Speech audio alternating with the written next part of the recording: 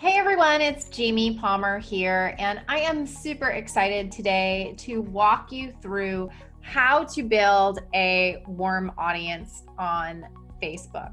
So, one of the things that people often ask me is, well, what's a warm audience? This is something you probably heard a lot of marketing and Facebook ads specialists talk about over and over and over again. And a warm audience is someone who has interacted with your brand or business in some way, shape, or form on the Facebook platform. So that could be Facebook, it could be Instagram, but for purposes of this training, I'm going to talk about Facebook. A warm audience is great when you have an offer that you want to sell to them or when you want to go to do a launch, a warm audience of those people who are interested in your brand but haven't really bought something yet. And so today, I'm going to show you how to build that warm audience on Facebook by turning your Facebook Lives into a Facebook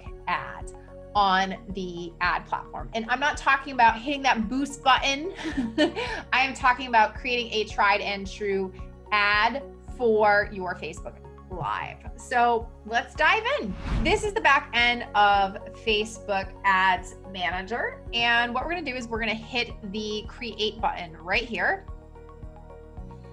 Once you are in this section, you have to choose an objective for your campaign. And so for this one, we're going to choose video views because the goal isn't to actually get them to click through or to give you their email address. It's simply to get them to watch the video and interact with the video so that they then become part of your warm audience on Facebook. So we're going to select video views.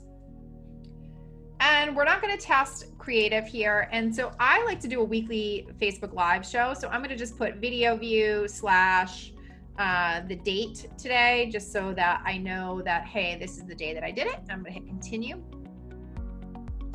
Now, this is the part where you get to define your audience. So, if you have a fair amount of data, you're going to want to go ahead and use a lookalike audience off of your website or your Facebook page or any of that information that you might have already uploaded to Facebook. If you're like, James, I don't know what the heck you're talking about, I will link some videos that you can reference around the different types of audiences.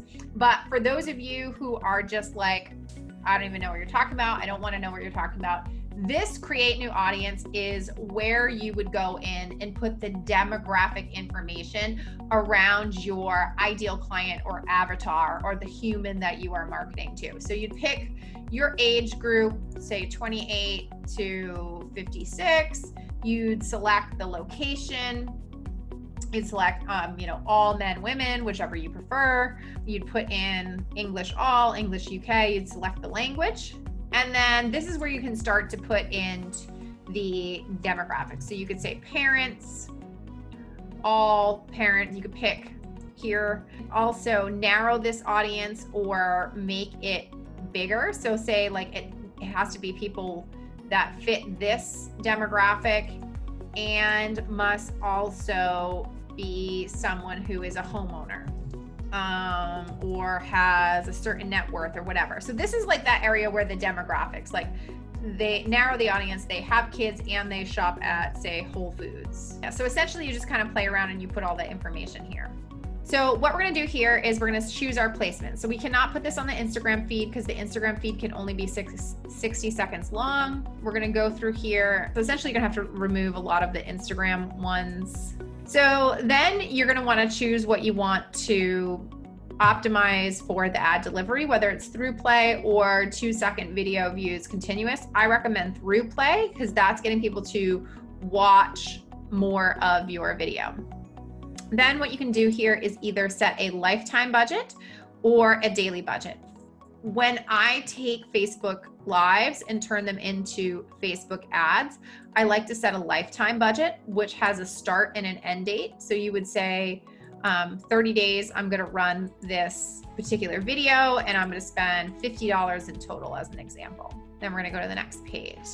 Now, this is where it can get tricky for people. So what you want to do here is you want to you don't want to click on this create ad section. You want to go to use existing post.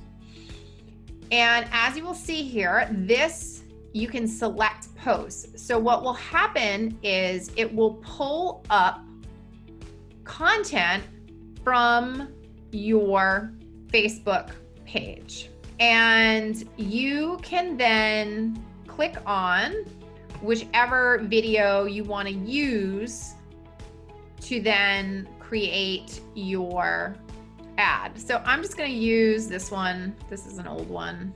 We're going to hit continue. What you're going to want to do is you're going to want to hit generate automatically. This will go through and you want to read through this. This is going to create captions for your video. Then you're also going to want to add a button.